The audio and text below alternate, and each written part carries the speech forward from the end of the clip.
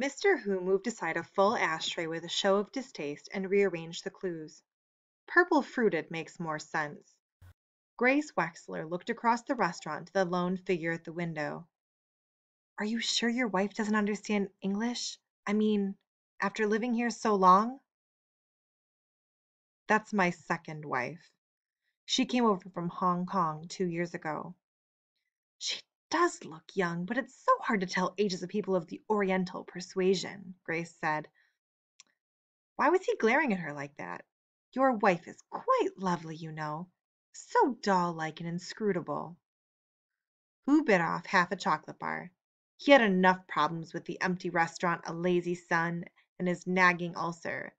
Now he has to put up with this bigot. Grace lit another cigarette and rearranged the clues to read Purple Waves. You heard the doorman say purple waves. It must mean something. And that ghastly secretary was wearing a dress with purple waves last night, not to mention her crutch.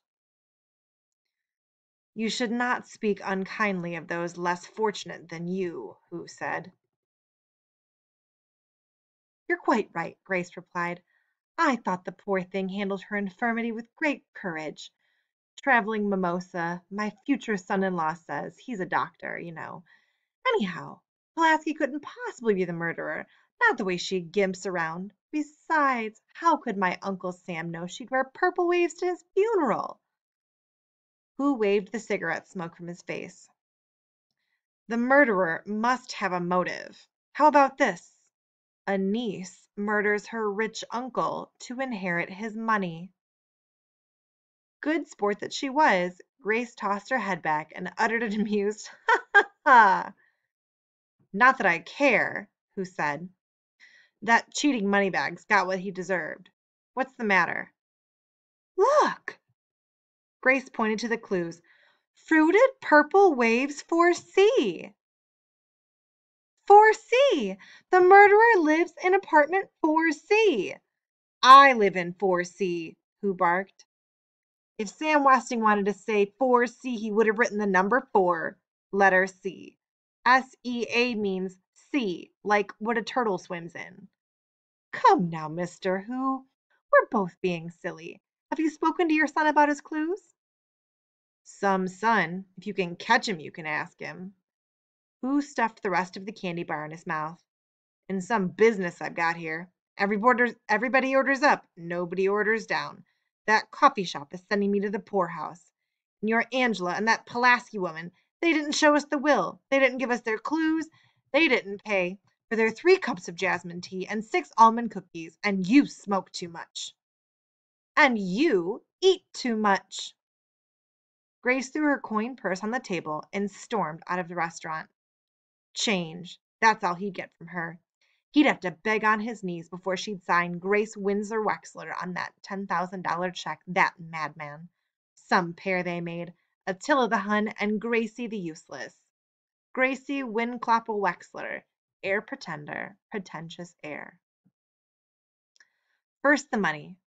They signed their names to the check. Half would go into Doug's savings account, half would go to Theo's parents. Next, the clues. His, N, on to the four. Maybe they're numbers. One, two, three, four, Theo guessed. I still say on as no, the bored track star said. He clasped his hands behind his head, leaned back in the coffee shop booth, and stretched his long legs under the opposite bench. And no is what we got. No real clues, no leads, no will. After three cups of coffee, two pastries, and a bowl of rice pudding with cream, Sydelle Pulaski had offered nothing in return. Theo refused to give up. Are you sure you didn't see anything unusual at the Westing house that night? I didn't kill Westing, if that's what you mean. And the only unusual thing I saw was Turtle Wexler. I think the pest is madly in love with me. How's that for luck? Get serious, Doug. One of the heirs is a murderer. We could all get killed. Just because somebody zapped the old man doesn't mean he's going to kill us, Dad said. Doug paused.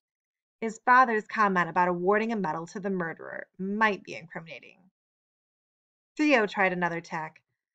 I was playing chess with somebody in the game room last night. Who? That's what's strange. I don't know who. We'll have to find out which one of the heirs plays chess. Since when is chess playing evidence for murder? Well, it's something to go on, Theo replied. And another thing. The will said no two sets of clues are alike. Maybe all the clues put together make one message, a message that points to the murderer. Somehow or other, we'll have to get the heirs to pool their their clues. Oh, sure. The killer can't wait to hand over the clues that will hang him. Doug rose. Snowbound or not, he had to stay in shape for the track meet. For the rest of the day, he jogged through the hallways and up and down the stairs, scaring the nervous tenants half out of their wits. Judge J.J. Ford had no doubt that the clues she shared with the doorman were meant for her, but Sam Westing tossed off sharper results than skies am shining brother. His choice of words must have been limited. Therefore, these clues were part of a longer statement, a statement that named a name, the name of the murderer. No, Mr. Westing could not have been murdered. If his life had been threatened, if he had been in danger of any kind, he would have insisted on police protection. He owned the police. He owned the whole town. Sam Westing was not the type to let himself get killed, not unless he was insane.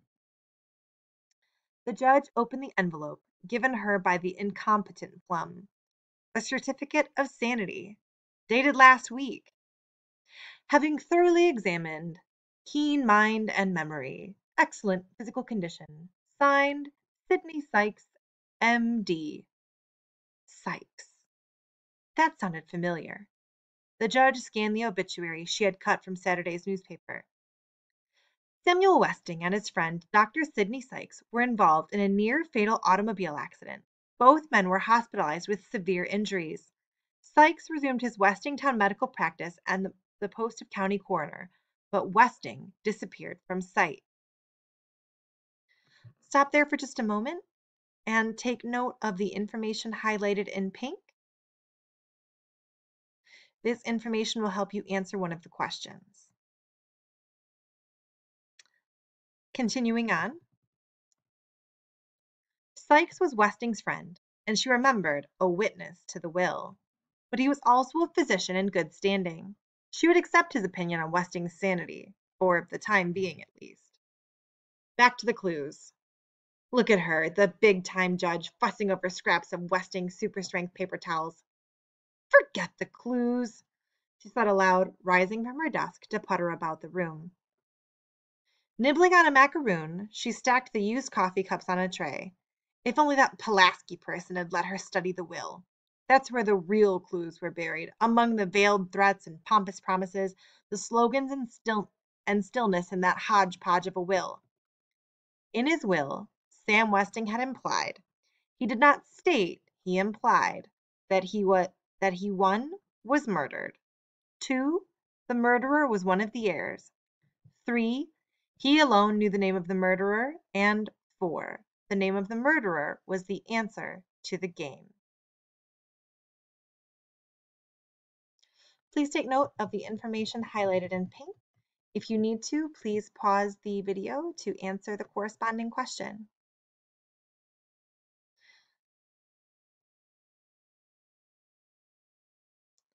The game, a tricky, divisive Westing game. No matter how much fear and suspicion he instilled in the players, Sam Westing knew that greed would keep them playing the game until the murderer was captured and punished. Sam Westing was not Werner, but one of his heirs was guilty, guilty of some offense against a relentless man, and that heir was in danger. From his grave, Westing would stalk his enemy, and through his heirs, he would wreak his revenge. Which one? Which heir was the target of, Wen- of Westing's vindictiveness? In the name of justice, she would have to find Westing's victims before the others did. She would have to learn everything she could about each of the heirs who they are and how did their lives touch Westing's, these 16 strangers whose only connection with one another was Sunset Towers. Sunset Towers. She'd start from there.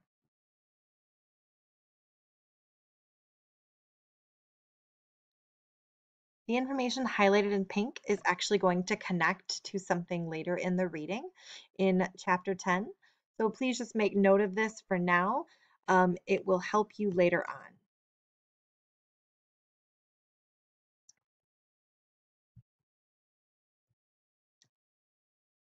Good. The telephones were working again. The number she dialed was answered on the first ring.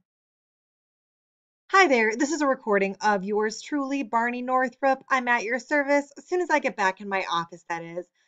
Just sing out your problem to old Barney here when you hear the beep. Beep. JJ Ford hung up without singing out her problem to old Barney. He, too, could be involved in Westing's plot. Newspaper. She would try the newspaper. Surely someone was snowbound there. After eight rings, a live voice answered. We don't usually supply that kind of information over the phone, but since it's you, Judge Ford, I'll be happy to oblige. Just spell out the names and I'll call back if I find anything. Thank you. I'd appreciate that. It was a beginning. Sam Westing was dead, but maybe, just once, she could beat him at his own game. His last game. Having found out what she wanted in Turtle's desk, Angela returned to her frilly bedroom, where Sydelle Pulaski, glasses low on her nose, was perched on a ruffled stool at the vanity table, smearing blue shadow on her eyelids. First, we tackle our own clues, the secretary said, frowning at the result in the threefold mirror. Unlucky from the day she was born, she now had a beautiful and well loved partner. There was always a chance that they alone had been given the answer. She unsealed the envelope and held it out to Angela. Take one. Angela removed the first clue. Good. Now it was Sydelle's turn. "Glory be!" she exclaimed, thinking she had the name of the murderer. Her thumb was covering the letter D. The word was Hood. Angela's turn. The third clue was from. Sydelle's turn. The fourth clue was spacious. The fifth and last clue was Angela uttered a low moan. Her hand shook as she passed the paper to her partner. The fifth and last clue was Grace. Grace! That's your mother's name, isn't it? Sydelle said. Well, don't worry. That clue doesn't mean your mother's the murderer. The will says it's not what you have, it's what you don't have that counts. The secretary had not yet transcribed the shorthand, but she had read it through several times before hiding the notebook in a safe place. By the way, are you really related to Mr. Westing? Angela shrugged. Sydelle assumed that that meant no and turned to the clues. Good grace from Hood Spacious. The only thing I can figure from these clues is good gracious from Hood Space. As soon as the parking lot is shoveled out, we'll peek under the hoods of all the cars. A map or more clues may be hidden there, even the murder weapon. Now, let's hear about the other clues. Angela reported on the clues gathered in the game room during the day's comings and goings. King, Queen. Otis Amber said King Otis and King and Queen Crow. Purple waves. Mother switched two clues around when Sandy mentioned those words. On or no. Doug and Theo could not decide whether or not that clue was right, right side up or upside down. Grains. Chris Theodorakis thinks that the clue refers to Otis Amber. You know, grains, oats, MT. Angela showed her partner the crumpled scrap of paper she had picked up along with Sydelle's dropped crutch during Flora Baumbach's tea party. I checked Turtle's diary. She's not following any stock with a symbol like MT, so it must be one of her clues. MT could stand for either mountain or empty. Taking a look at everything that I just had highlighted, how did Angela and Sydelle get so many clues? Think back to what happened in chapter 7. What did Angela and Sydelle do differently than the other characters?